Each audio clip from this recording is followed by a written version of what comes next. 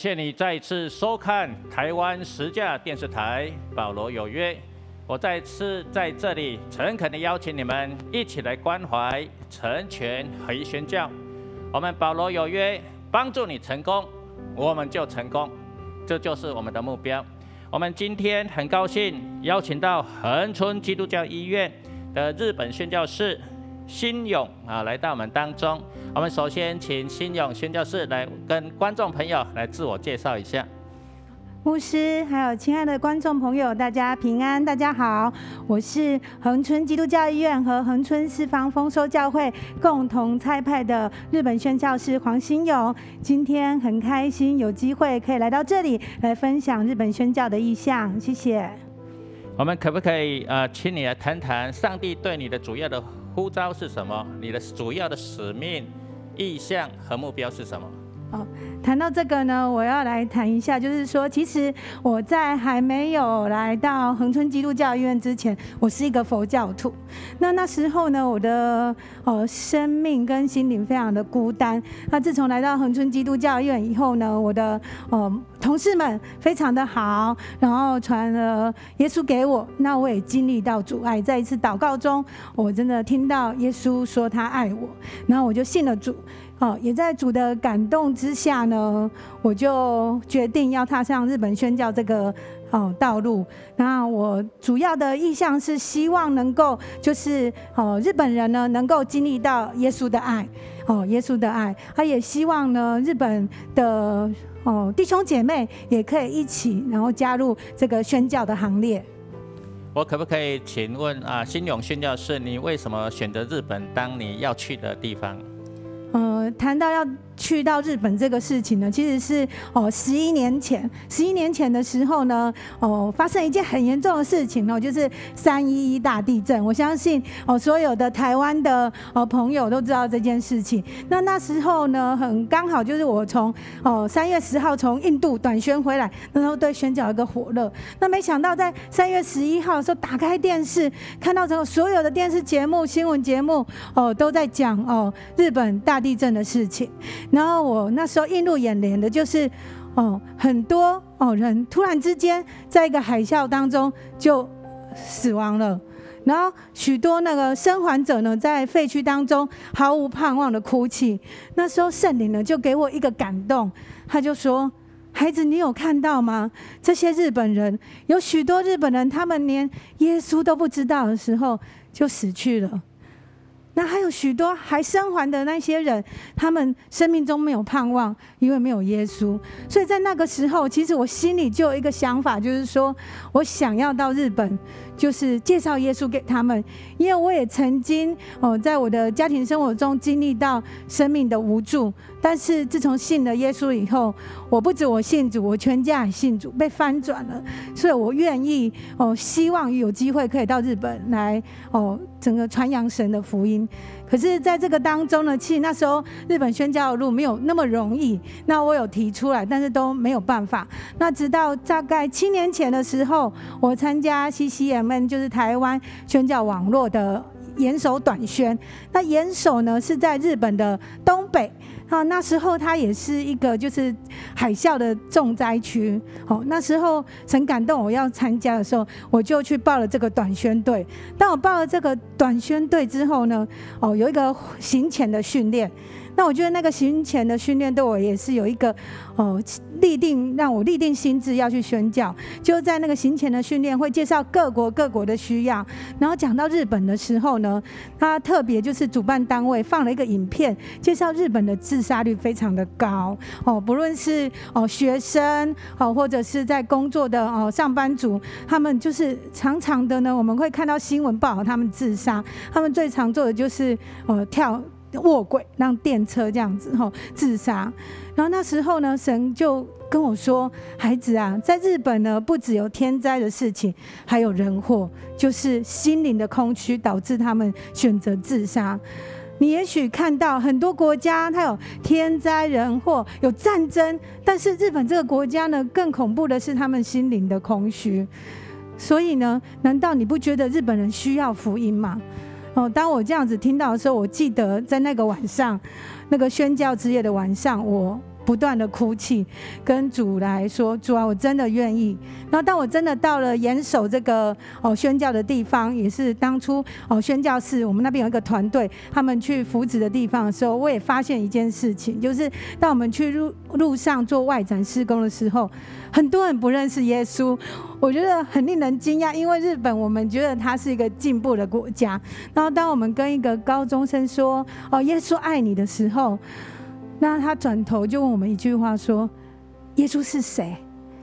哦，那时候我也非常的惊讶，我想说：“哦，我以为哦，我们跟哦台湾、日本、韩国，大家至少听过耶稣，至少只是不想相信而已。没想到哦，在哦岩手这个地方，日本东北这个地方，有这么多人不认识耶稣。那我们还让我印象深刻的就是，我们去看一些就是灾后的生还者，其中有一个阿嬷。那在这个哦三一大地震哦，它引起的海啸之后哈，那个阿嬷的的老公还有她的儿子都在这个海啸中死亡了。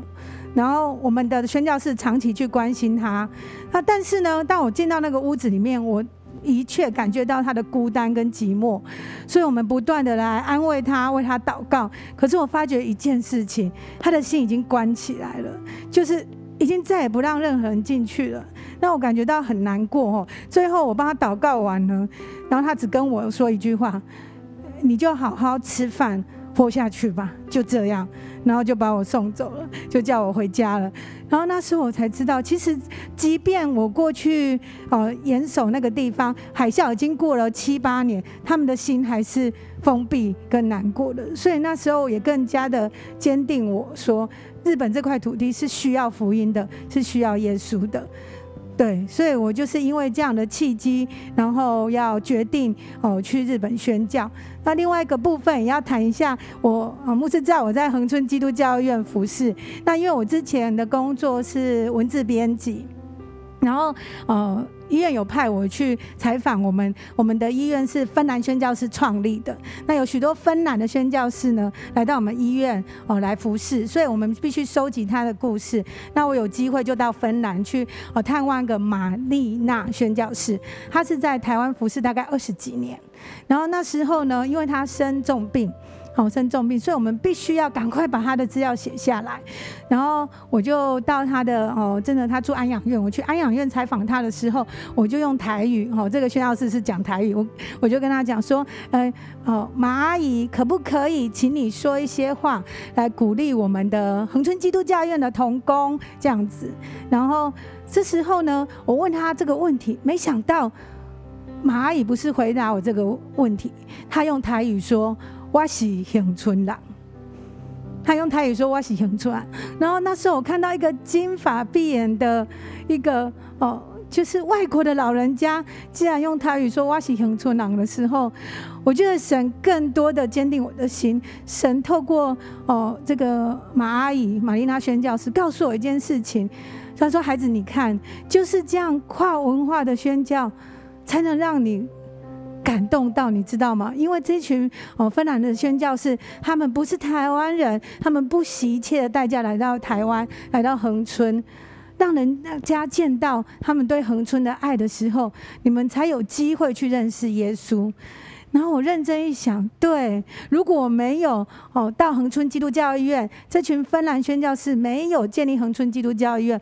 我可能没有办法认识耶稣，我全家也不会信主，所以我也因着这个宣教士的鼓励，还有他的精神振奋了我。我我相信，当我们带着这份爱去爱日本人的时候，他们会想要知道我们背后的爱是什么。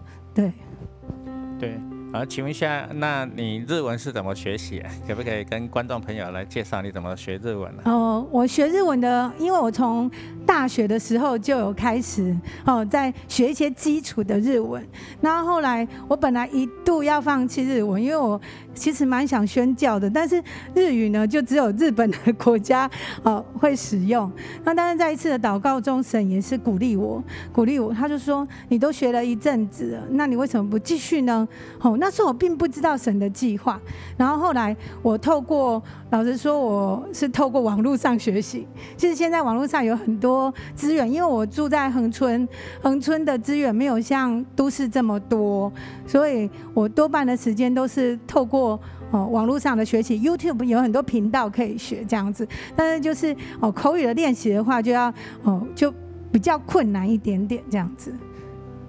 呃，你你的经验、学习的经验，也可以成为一些候补想要当宣教士的人一个很好的参考哈。是。呃，刚刚呃，新勇宣教士，你有谈到说你有你有加入这个严守团队。是。呃，你可不可以多介绍一下严守团队在日本的服饰有哪些？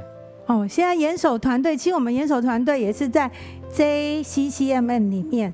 那我们主要的服饰包含的，就是因为现在日本呢的教会主要面对的一个状况，就是说他们。高龄化人数少，哦，高龄化人数少，因为主要是他们呢，哦，就是比较保守，比较保守，所以很多哦年轻人都不愿意进到教会里面。那我加入这个严守团队呢，他首先呢就是要做一个就是哦。特别的、特别的去呃接触年轻的，所以我到当地呢，主要的工作我参加过两次短宣，然后有时候网络跟他们有一些互动，都是跟高中生，因为。我们这个团队相信，严守团队相信年轻人是日本的希望，所以呢，我们透过呃音乐会，然后透过呃运动会，还有一些 T 恤设计的比赛来接触年轻人。那另外一个部分就是刚才有提到，就是日本教会它高龄化，还有人数少的部分，所以其实牧者很辛苦。我们曾经去拜访一个呃城市的牧者，他们大概有。五十几个人算是日本大教会了，但是最年轻的一个弟兄是五十几岁，然后他跟牧师表示他不要服侍，那其他的呃就是呃会友呢，大概是七八十岁。所以可能就牧师就没有办法做外展的事工，所以我们哦严守团队也会去帮忙他哦做一些外展的事工，做一些哦福音初级这样子。对，你觉得刚刚你谈到那个五十几岁那个弟兄或姐妹不想服侍的主要原因是什么？主要原因我们有问那个牧师说他为什么会这样想，然后那个牧师跟我们回答就是那个弟兄说工作比较重要，对，工作比较重要，所以他就不愿意服侍这样子。对，我我了解哈，在日本这样的环境底下哈啊，他们都很忙碌啊，很辛苦了哈。好啊，那我们底下我们可可可不可以请你来介绍一下日本的一些目前。啊，你刚刚提到以外，日本目前的一些福音的施工最需要什么？好，我我那时候我大概最近哦，大概上个礼拜的时候，我们还一起在线上开会，就是感谢主，虽然疫情的期间哦，让我们没有办法见面，但是我们在线上的开会是每个月都会有的啊。那这一次是全全国的日本的宣教士跟哦跟牧者一起，我们有一个网络哈，我发觉。最重要、最缺的就是工人，因为日本很大，日本很大，所以呢，哦，很多地方其实他们现在有教会，因为其实我们要感谢主，其实西方的宣教士很早就进去了，但是他们有一个时间是，哦，就是锁国禁教，所以之后以后福音就很难传，然后他们就面临到一个事情，就是没有接班人，没有接班人，所以自己的教会的部分呢，他们就没有办法，哦，就是来，哦。还去做一些外展施工，所以渐渐萎缩。我们碰到好几个教会只剩下牧师师母，哦，只剩下牧师师母。然后一个牧者那一天他分，就是那次会议他分享，我很难过。他说他觉得自己就是一个就是管理员啊。我想管理员是什么意思啊？他说我就是管宣教士留下来那个教会，我天天打开门扫地，然后把这个哦建筑物管好，因为我已经没有会友了。所以现在面对最大的问题呢，其实是缺乏工人。所以即便是哦陆续有一些人进去，但是还是不够，不够。所以我们的团队会在一些比较基督徒最少的地方来开拓跟扶持当地的教会，这样子。我们现在台湾呃跟日本都有一点疫情啊，日本比较严重一点啊。你现在还在台湾申请签证嘛？是。啊，目前你留在台湾的主要服饰是什么？那目前我留在台湾，主要的服饰我在呃恒春基督教院的院牧部做牧养跟关怀的事工。那因为恒春基督教院有很多哦外展的事工，就比如说我们会去看一些独居老人，然后也会有一些哦热志据点，还有日照中心。那我会。固定期的到各个据点去哦唱诗歌，然后分享福音，然后也会到长辈的家里面去传福音啊。另外一个部分就是病房关怀，就我们会到病房哦去呃跟病人分享福音，让他们能够有机会认识耶稣。啊，在恒春是比较偏乡的一个医院哈，你在那边服侍，也好像是在。跨文化的地方宣教一样，可不可以请你谈谈在那边的服饰的一些心得？对，我觉得牧师讲到一个重点，因为我本身不是恒春人，然后刚刚去恒春的时候，我真的有一点点冲击，即便到现在还是有点冲击。第一个是语言的部分啊，就是我本来台语非常的差，对，那但是呢，恒春人呢大部分都讲台语，然后而且也是高龄化，就很多长者，所以当初。刚去那边的时候，有很大的不习惯，就是语言的部分，特别是要出去哦，就是传福音的时候，阿公阿妈听不懂我在讲什么这样子，然后这个部分也。需要适应，另外一个就是文化的部分，就是我们其实跟呃，因为我住在呃，虽然屏东市是个小城市，但是跟很多还是有一点点差别，然后就是资源就相对很少，就是比较少。那我们会面临到好像跟他们有一些沟通上的，哦，大家想法的不一样。但是我每当遇到这样的困难的时候，我常常在想，就是我去哦接触那些芬兰的宣教士。他们都跟我表达一件事，就是恒春很好，恒春很棒，他很喜欢恒春。那我也因为这样的爱呢，被激励了，继续的去认识他们。所以，在我现在在恒基工作已经接近十五年了，对对对，我工作比较久了哈。然后我。常常才知道，当我们打开心，用耶稣的爱去，哦，去爱这些，哦，就是你到了一个新的地方，你要宣教的地方的时候，你才会感觉，哎，他们身上有神的荣美的时候，其实你也因为他们而得到祝福，对。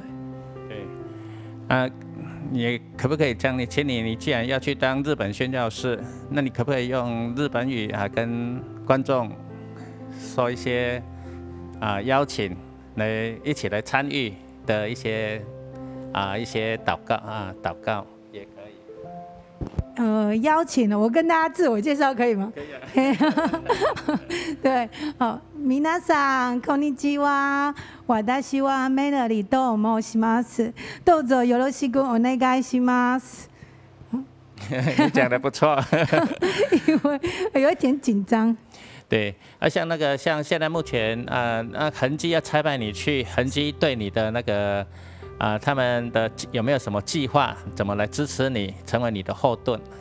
哦，因为其实到日本宣教有一个最大的困难就是经济上面。对，那其实恒春基督教医院，呃。嗯，可能就是在偏乡，在经营上也很困难，所以当初呢，我要去宣教，主要是我的教会，我的母会恒春四方丰收教会要差派我。然后，但是我们恒春四方丰收教会呢，有两个宣教士，一个是印度的宣教士，还一个是我。那我们也很困难。然后那时候呢，就是我们的哦院长还有我们的董事长知道，就决定就是我们就是一起支持。一起支持这样子，那所以等于就是说，他们联合差派我去日本严守，那我们的。计划就是希望我能够在哦加入这个团队一起做青年的事工。那关于经济呃支持的方面，当然身心灵的支持、后盾的支持。那其他的部分就是说哦，能够希望就是有机会可以哎日本的哦团队也可以过来彼此来学习，因为我们发觉一个特点，就是恒春跟我要去的日本严守的城市呢有点像。偏乡高龄化，然后有一些困难这样子，但我们相信未来有机会的话，大家彼此可以交流这样子。我听说日本也是一个福音印土哈，他们不仅他们信的那个传统的宗教啊，而且加上他们也是很热心工作，所以好像我听说不容易。所以我们鼓励你，我们也为你祷告。所以我们节目即将结束之前，我们邀请观众朋友哈，一起来为啊这个新勇来祷告，啊祝福他将来要去日本宣教的过程里面都蛮有神的祝福。我们一起同声开口来祷告。耶稣阿门，谢谢你为新勇来祷告。耶稣啊，他因为三一一大地震导致日本的很多的灾害，他看了心里有了感动，有了负担。主啊，尤其他看到日本有一些人啊呃跳这个电车自杀的情况，更是让他有那颗心要到日本去宣教。主啊，求你成全他的心愿啊，帮助他在签证的过程里面一切都顺利。求上帝，你也帮助啊，他在将来在啊日本的宣教，有你的策略，有你的爱，有你的祝福，有你的恩典，有你的喜乐在当中。求你差派天使天君与他同行，在那前面预备道路，啊，让他在日本的服饰大有恩典，大有祝福，能够收割灵魂，能够荣耀主耶稣的名，奉耶稣的名祷告，阿门。我们请新勇啊宣教师来做结束祷告。亲爱的天赋，我们来感谢赞美你。我们特别为着真的。哦，在一百多年前，抓，你差派宣教士来到台湾，来祝福台湾。主啊，这是我们何等的恩典，让我们如今有这份恩典，可以来去祝福别人。